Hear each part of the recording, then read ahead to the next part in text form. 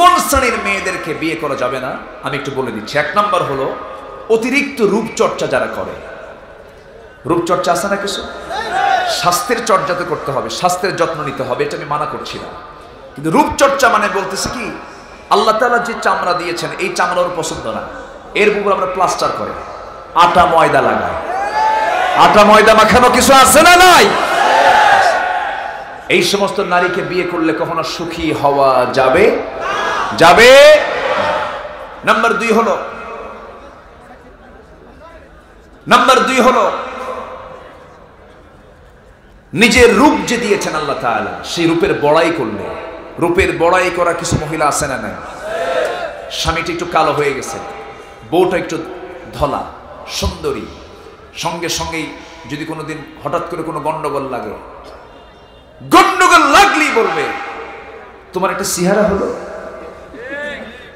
আমার সঙ্গে তোমার যে বিয়ে হয়েছে, আমার সিহারা তোমার সিহারা মেলে। এ তোমার সদ্য গোষ্ঠীর কপা এরকম খোটা মারা মহিলা তো ফেনী জেলায় নাই। ফেনী জেলায় আছে? সাবধান থাকবেন। সুখী সুখী হবেন না। রূপ দিয়েছেন কে? ক্যান্সার দিয়া পচায় দিতে পারেন কে? আসতে বলবেন না কে? রূপের বড়াই করা যাবে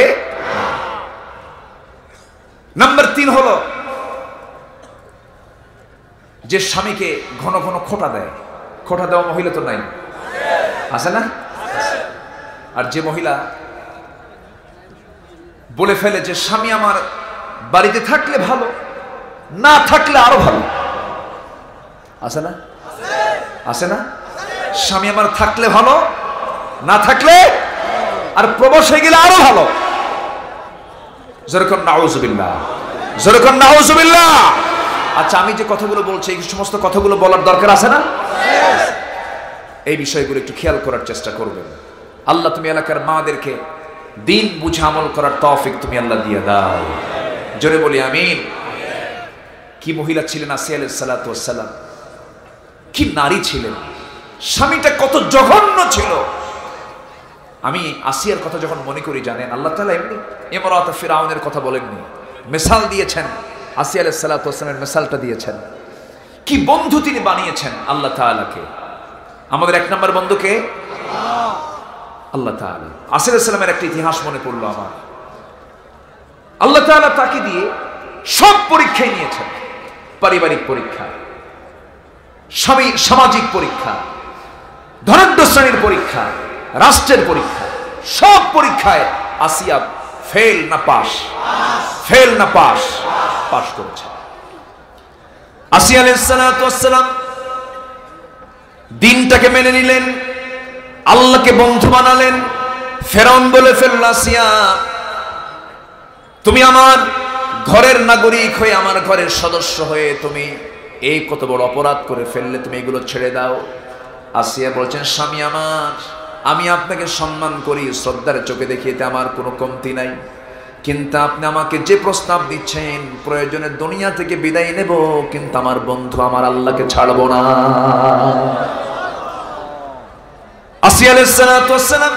শেষ পর্যন্ত দেখা গেল, তাকে দুনিয়া থেকে বিদায়ের সিদ্ধান্ত পর্যন্ত পাকাপোক্ত হয়ে গেল।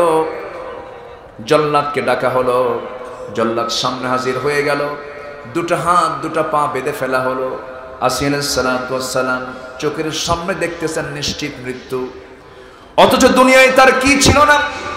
ওই সময় ফেরার স্ত্রী মানে গোটা দুনিয়ার শাসকদের সে ফার্স্ট লেডি বিশাল বড় পদ, সব পদ ছেড়ে দিলেন। বন্ধু ধরলেন কাকে? আসতে বলবেন না কাকে? আসিয়ালাম শেষ পর্যন্ত কি হলো? দুই হাত, দুই পা বেঁধে দেওয়া হলো।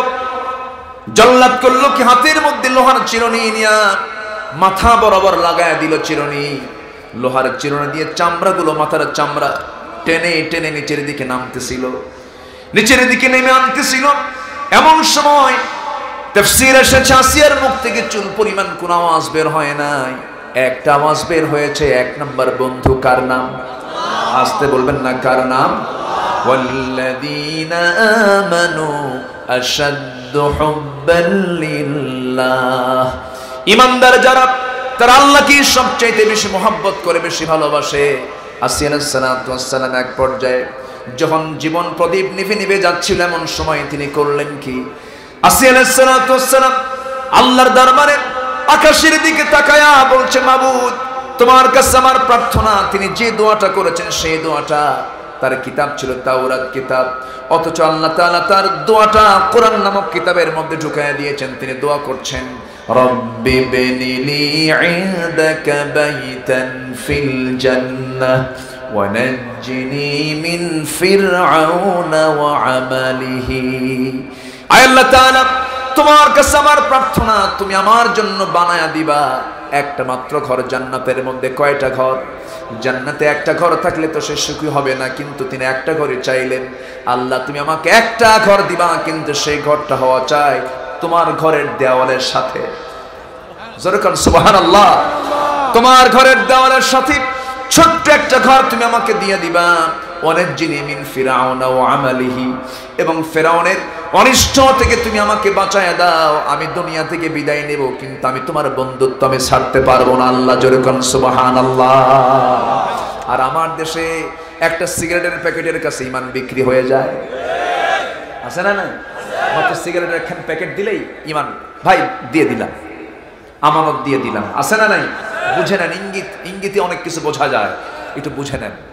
সম্মানিত ভাইয়েরা, তাহলে আমাদের বন্ধু এক নাম্বার কে বলেন নাম্বার দুই মোহাম্মদ সাল্লাহ মোহাম্মদ সাল্লাহ আলাইহি ওয়াসাল্লাম নাম্বার তিন হলো والذين آمنوا الذين يقيمون الصلاة ويؤتون الزكاة وهم راكعون নাম্বার তিন বন্ধু হবে যারা ইমানদার কিন্তু ওই রকম মোনাফেক মার্কা সেই সমস্ত লোক না তোমার ইমান তোমার ইমানদার বন্ধু, সেই সমস্ত বন্ধু হবে যাদের মধ্যে তিনটা গুণ থাকবে, কয়টা গুণ থাকবে?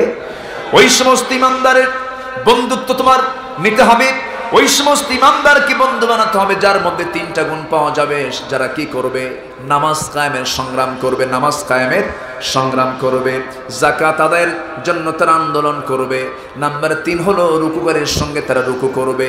এই তিনটা গুণে সমৃদ্ধ যে ইমানদার, তারাই হবে তোমার জীবনের একমাত্র বন্ধু। আমার দেশে বহু নামাজি আছে, কিন্তু নামাজ পড়তে রাজি, কিন্তু নামাজ কায়েম হতে রাজি না। আছে না নাই? আছে না নাই? ওরা, ওদের কথা হলো নামাজ পড়ব, মসজিদে গিয়া নাইট ক্লাবে গিয়ে মদ খাব। আল্লাহ যেন খুশি থাকে, শয়তান যেন বেজার না হয়। এরকম পাবলিক আছে না নাই? আছে না? আছে। এইরকম করে ইমান আনলে সে আমার কখনো বন্ধু হতে পারে না। এই তিনটি বন্ধুত্বে এই বন্ধনটাকে যদি আমরা টিকে রাখতে পারি, এই বন্ধুত্ব আমাকে জান্নাতের দরজায় পৌঁছায় দেবে। ফেসবুকের সময় নষ্ট করার কি দরকার? ফেসবুক তো এটার নাম না, এটার নাম দিছি গিবত বুক ফেসবুকের নাম কি? গিবত বুক। গিবতের বই। ফেসবুক না, ফেস, ফেসের বই এটা না, এটা হচ্ছে গিবতের বই। শুধু গিবত দিয়ে ভরা। কোথায় কি করছে, কোথায় কি হয়েছে, এগুলো নিয়ে সব লেখালেখি ও ওর বিরুদ্ধে লেখে, ওর বিরুদ্ধে লেখে। ইমানদার তো সেই অন্যের দোষ না খুঁজে, নিজের দোষ খুঁজে বেড়ায়। ইমানদার তো সেই অন্যের গুণ খোঁজে, নিজের দোষ খোঁজে। আল্লাহ আকবার বলো। আল্লাহ, তুমি আমাদের বন্ধু নির্বাচনে সঠিক সিদ্ধান্ত নেওয়ার তৌফিক তুমি আল্লাহ দিয়ে দাও। সবাইকে আমরা পাঁচ অক্ত নামাজ পড়ি। পাঁচ অক্ত নামাজ পড়ি। পাঁচ অক্ত নামাজ আর কোনোদিন ছেড়ে দেবো না। কারা কারা একটু হাত তুলে দেখেন তো দেখি। জোরে বলি আল্লাহ। আরও জোরে বলি আল্লাহ। আমাদেরকে পাঁচ অক্ত সালাত আদায় করার তৌফিক তুমি আল্লাহ দিয়ে দাও। জোরে বলি আমিন। আরও জোরে আমিন